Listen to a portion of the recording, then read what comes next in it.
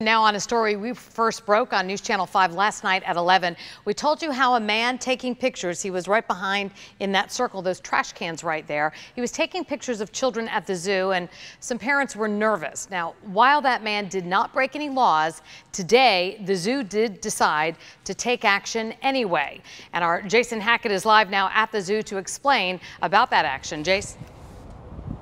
Uh, well, Kelly, as you said, the law, the man did not break any laws, but parents are saying otherwise. Tonight, the zoo making the move to kick this man out for good while also trying to reassure parents that the zoo is safe.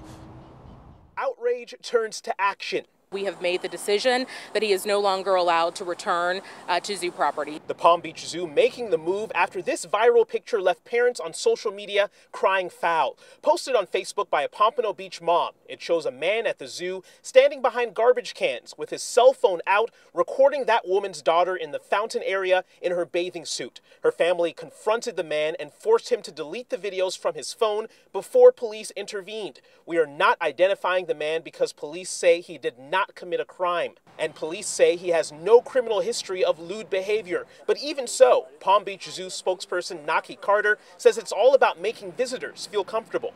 Our behavior is reported to us by a zoo guest. Um, that they see something that is concerning. We do reserve the right to ask for you to leave the zoo, and we do reserve the right, based on individual incidents, to ask that you not return.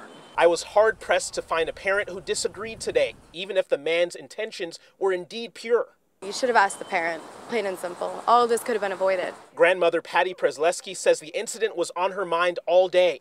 I watched extremely carefully to make sure that, you know, she was protected. She also says the move was necessary. They took very swift action and he is banned and, you know, more institutions need to do the same.